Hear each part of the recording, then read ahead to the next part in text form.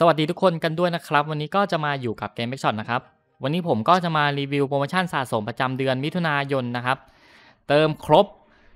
3,299 บาทนะครับ จะได้อะไรบ้างนะครับ เดี๋ยวเราไปดูกันเลยดีกว่านะครับ ชิ้นแรกนะครับเป็นปืนนะครับ เติมครบ 199 บาทนะครับ จะได้เป็น Burning World บัตรซากุระนะครับ 30 วันนะครับ ซึ่งปกติแล้วปืนนี้จะได้จากเลเวล130 นะครับ ถาวรนนะครับ แต่ว่าอันนี้เอามาลงในโปรโมชั่นนะครับ เติมครบ 199 บาทนะครับ ต่อมาเติมครบ 999 บาทนะครับ จะเป็นปืนเดเบกนะครับ เป็นปืน 8.5 นะครับ 30 วันนะครับ ต่อมาเติมครบ 1,299 บาทนะครับ ก็จะได้เป็นปีก180 วันนะครับ ต่อมา 3,299 บาทนะครับ ก็จะเป็นสไน Water p a t e r n Sense นะครับ ถาวร นะครับ ส่วนที่เหลือก็จะเป็นชิ้นส่วนพวกปีกพวกบัตรติ๊กเก็ตอะไรพวกนี้นะครับ เป็นพวกตั๋วสุ่มของนะครับ อันนี้ก็จะเป็นคัมภีร์นะครับ เอาไว้สุ่ม 8.5 นะครับ อันนี้เอาไว้หลอมปืน 8 ดาวถาวรนนะครับ ส่วนอันนี้เป็นสุ่มลอตโต้อันใหม่นะครับ ส่วนกล่องอันนี้ เป็นพวกเฟอร์นิเจอร์ต่างๆนะครับ ของตกแต่งบ้านนะครับผมที่เหลือก็ไม่มีอะไรแล้วนะโอ้กล่องนี้ กล่องนี้เป็นกล่องเป็นแพ็คอะครับเป็นแพ็คแพ็คเก่าแก่แล้วแหละเอามาลง 9 บาทนะครับโอเค เดี๋ยวเราไปดูคุณสมบัติดีกว่านะครับ นี่นะครับปืนนี้นะครับ ผมจะรีวิวเฉพาะของใหม่นะครับรีวิวเฉพาะของใหม่ที่อัปเดตเข้ามา เท่านั้นนะครับของเก่าๆผมจะไม่รีวิวนะครับ เพราะว่าผมเคยทำคลิปรีวิวไปแล้วนะครับ ก็จะเป็นสไนตัวนี้เลยนะครับ 3,299 บาทนะครับ คุณสมบัติตามนี้เลยนะครับทำลาย 250 ยิงเร็ว 32 เสถียร 59 เคลื่อนที่ 55 เปลี่ยนกระสุนไว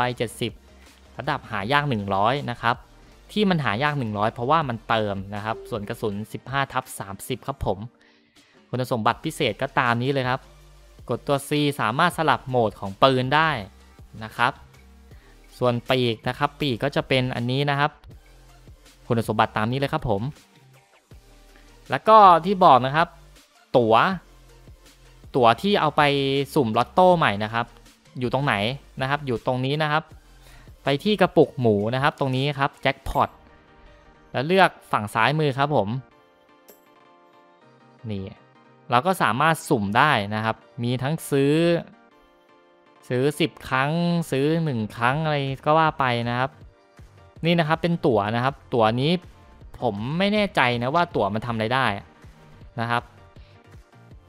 ส่วนอันนี้ซื้อ 1 ครั้งนะครับ สามารถ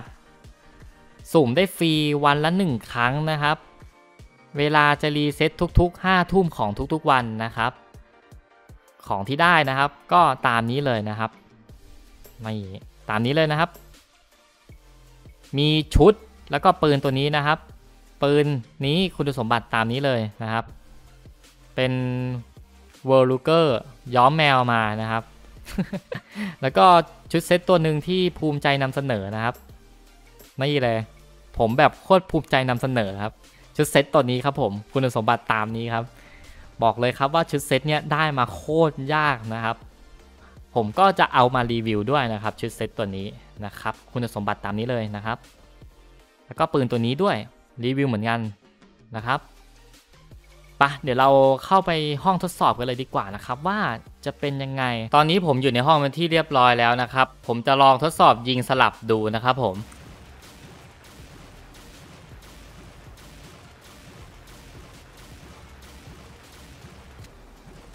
ยิงสลับไวใช้ได้นะครับ แล้วก็เวลาสลับนะครับ จะได้เยินเป็นเสียงน้ำนะครับ ดินไหมนะครับ ก็ใช่ครับ เพราะว่าชื่อปืนมันก็เขียนอยู่แล้วนะครับ ว่า water นะครับ ที่แปลว่าน้ำนะครับ แล้วก็ดูตรงปืนนะครับ ดูเอฟเฟกตรงปืนนะครับผมนี่นะครับ สวยงามเลยทีเดียวนะครับ ปืนนี้พรีเมียมสุด ๆ เลยนะครับ เดี๋ยวจะทดสอบยิงไก่นะครับผมยิงหัวนะครับ หัวแตกครับ ตายแน่นอนครับ ทุกส่วนตายแน่นอนครับผม แล้วก็เป็นเอฟเฟกตายนะครับ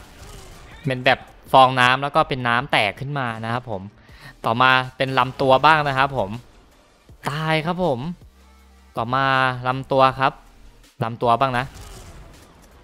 เรียบร้อยครับ เป็นฟองน้ำก่อนนะครับ เป็นฟองสบู่นะครับ แล้วก็น้ำแตกปะทุขึ้นมานะครับ เหมือน เหมือนภูเขาไฟครับ เหมือนน้ำพุร้อนใต้ทะเลอะไรแบบนี้นะครับ ต่อมานะครับผมจะลองกดตัว C ครับเพื่อสลับโหมดของปืนนะครับ ดูที่ว่าจะเป็นยังไงนะครับอ่ามีเป็นลำกล้องนะครับลำกล้อง ไม่ใช่ลำกล้องดิเป็นเป้าออกมานะครับ แล้วก็ปืนเปลี่ยนรูปร่างนะครับ เหมือนกับปืนลูกซองเซนติเนลนะครับ ที่สามารถเปลี่ยนเป็นสไนได้นะครับแต่ผมจะลองยิงหัวดูนะครับ ตายครับผม น่าจะทุกส่วนเลยแหละนะครับ ลองขาบ้างลองขาบ้าง อ่าไม่โดนไอ้เหี้ยอ่าโดนแล้วนะครับ ไม่แน่ใจนะว่าอยู่ระยะไกลจะยิงโดนหรือเปล่านะครับ เอาเฮ้ยโดนเหมือนกัน ยิงแบบว่าเราไม่ต้องซูมเลยนะครับเอากระโดดยิงไม่ได้ไอ้เหี้ยจะเอาโคตรโหดกระโดดยิงกันหน่อยไม่ได้นะครับ ถ้ายืนนิ่งๆอะยิงโดนแน่นอนนะครับ แล้วถ้าอย่างเงี้ย อ่า ถ้าเกิดเราวิ่งอยู่นะครับ แล้วยิงศัตรูโดนครับผม แต่ถ้าเกิดเรากระโดดยิงไม่น่าจะได้นะครับ ไม่ได้นะครับ แล้วถ้าเกิดระยะใกล้ล่ะ ระยะใกล้ก็ไม่ได้เหมือนกันนะครับ สรุปคือถ้าวิ่งยิงอะได้นะครับ แต่ถ้าเกิดกระโดดยิงจะไม่ได้นะครับ เอาไกลลุดต่อมาก็จะเป็นปืน World Luger บ้างนะครับ เป็นปืนย้อมแมวนะครับ แบบนี้เลยนะครับ เห็นไหม นี่ยิงออกมาเป็นสีเขียวนะครับ สีก็เป็นออกออกสีบรอนนะครับ สีน้ำตาลอะไรเงี้ยนะครับปะเราจะทดสอบยิงคนนะครับ ยิงยิงที่หัวนะ ยิงที่หัว โจ๊ะไปทีหนึ่งนะครับ เลือดเหลือ 38 ครับผม ต่อมาก็จะทดสอบยิงที่ตัวบ้างนะครับ ยิงตัว เลือดเหลือ 63 ครับผม โอเค ส่วนสุดท้ายนะครับก็จะเป็นขาบ้างนะครับ เลือดเหลือ 71 นะครับ โอเค เดี๋ยวผมจะลองยิงเป็นระเบิดนะครับ ยิงเป็นระเบิดได้นะครับ เป็นเอฟเฟกต์ระเบิดสีเขียวนะครับ เลือดเหลือ 32 นะครับ เดี๋ยวผมจะลองยิงแล้วอัดกระสุนเข้าไปดูนะครับ ว่ามันจะเปลี่ยนไวหรือเปล่า ช้านะครับ ช้าช้าช้ายังช้าอยู่นะครับ ยังไงก็สู้ WR คาวไม่ได้นะครับ WR คาวนี้ยิงแล้วยัดใส่ยัดใส่อย่างเดียวเลยนะครับ ถามว่าใช้ได้ไหมก็ใช้ได้อยู่นะครับ สุ่มจากลอตโต้ตัวใหม่นะครับ ได้ถาวรนะครับ เป็น WR ย้อมแมวมานั่นเอง ต่อมาก็จะเป็นในส่วนของชุดเซตบ้างนะครับ บอกเลยครับว่ามีซากุระรอบๆตัวนะครับ ชุดนี้บอกเลยครับว่าโคตรสวยนะครับ ใครที่มี ชุดนี้ครอบครองนะครับบอกเลยครับว่าดูแพงแน่นอนนะครับผม เพราะว่าเราต้องสุ่มจากลอตโต้นะครับ เสียเป็นแสนก็ไม่ได้เหมือนกันนะครับ ต้องเสียเป็นล้าน GP ครับผมกว่าจะได้ชุดนี้มานะครับ แต่ใครที่ดวงดีนะครับ ก็อาจจะได้เลยนะครับ เสียไม่หนักนะครับผมบอกเลยครับ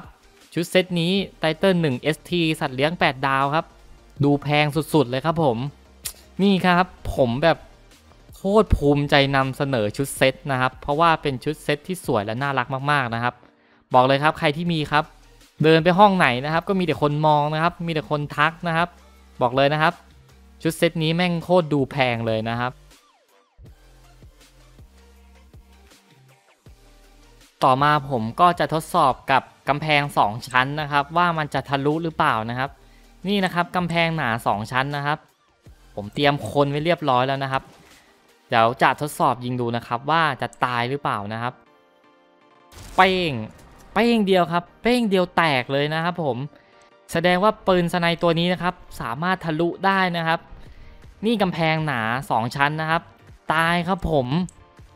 บอกเลยว่าปืนนี้สุดๆนะครับ แต่สำหรับใครที่คิดว่ามันธรรมดาเกินไปนะครับ เดี๋ยวผมจะทดสอบยิงคน 16 คนให้ดูนะครับว่า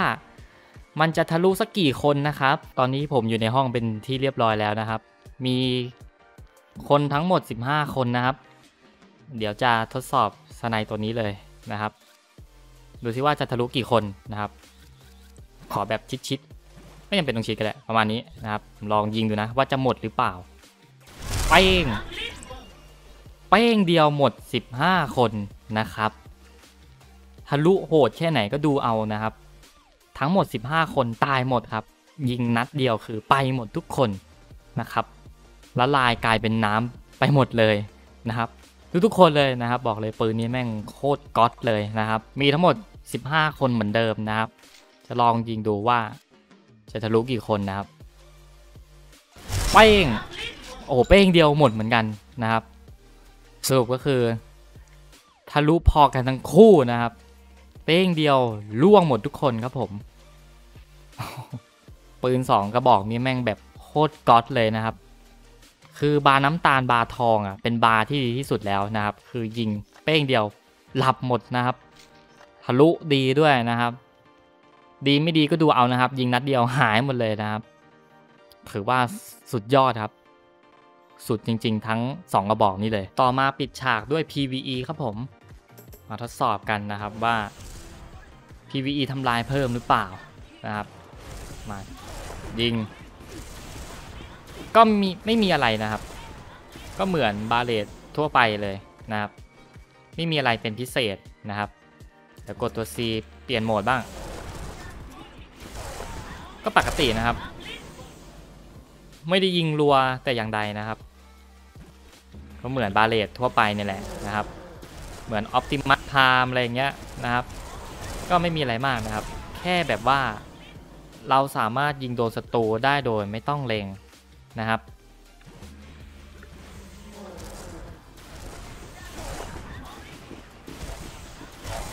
ก็ยิงทะลุเหมือนเดิม ก็เหมือนทะลุกับคนนี่แหละ คือจะยิงไปทางไหนมันก็ทะลุหมดนะครับ ถ้ามีศัตรูอยู่ข้างหน้า มันทะลุแน่นอนอยู่แล้วเอาลูกหมด ลูกหมดลูกหมด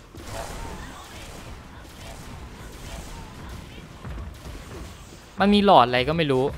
มันคือหลอดอะไร เดี๋ยวนะเดี๋ยวนะ เหมือนรู้สึกว่ากดลูกกิ้งแล้วมันมันจะลดลงนะครับ เดี๋ยวดูใหม่ว่ากดตรงลูกกิ้งมันทำอะไร อ๋อยิงเป็นกระสุนกระสุนน้ำแล้วโหมดธรรมดายิงได้ไหมโหมดธรรมดาก็ยิงได้นะครับอ้อผมไม่ได้ลองเลย ผมก็ว่ามันคืออะไร แต่ก็ได้รู้แล้วแหละในด่านเฟียนะครับ มันน่าจะไม่แรงอะไรนะครับ ก็น่าจะแบบว่านิดหน่อย เหมือนปืนวีนัสไม่ก็ d j M4N1 อะไรประมาณนี้นะครับ ฝากกดไลค์คลิปนี้และกดติดตามให้กับช่อง M4 s u b b i ให้ด้วยนะครับ เดี๋ยวไว้เจอกันคลิปหน้าครับผม สวัสดีครับ